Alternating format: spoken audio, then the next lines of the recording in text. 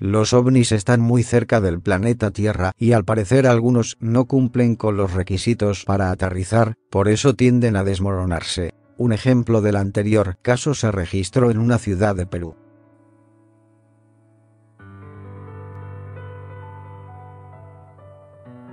Lo insólito del asunto es que la cultura de la ciencia ficción sale a flor de piel cuando se presenta algún tipo de suceso paranormal difícil de entender.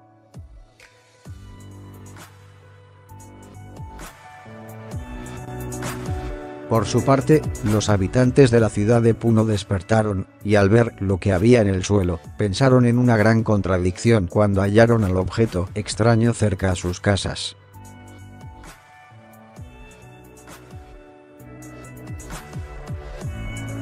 De acuerdo con el portal La República, las especulaciones empezaron en las redes sociales y diversos usuarios comenzaron a pensar que se trataba de objeto volador no identificado, OVNI.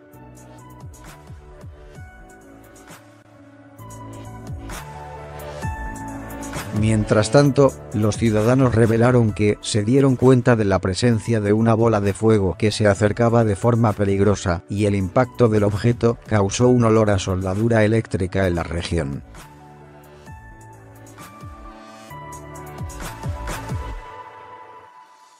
Según lo dicho por la página Trome, los ciudadanos llamaron a los medios de comunicación de la localidad con el fin de reportar el suceso.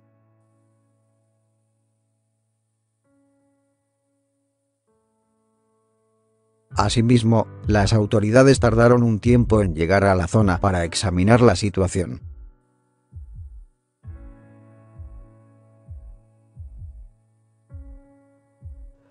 Al final, David Palomino Rojo, estudiante del fenómeno OVNI, dio a conocer que los restos pertenecían a un satélite o a una nave terrestre, por lo que era necesario estudiar a detalle el asunto.